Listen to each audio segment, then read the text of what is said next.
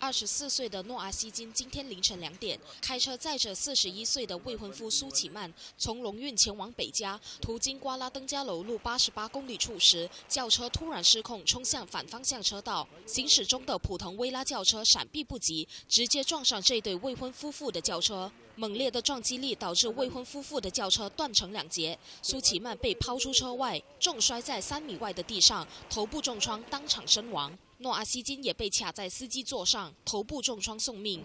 普腾威拉轿车司机二十六岁的莫哈默沙兹鲁也身受重伤。消拯局接获投报后，马上赶到现场，将伤者送到龙运医院抢救。伤者目前情况依然危殆。至于两名死者的遗体，也已经送往同一家医院解剖。警方将援引一九八七年陆路交通法令第四十一之一条文展开调查。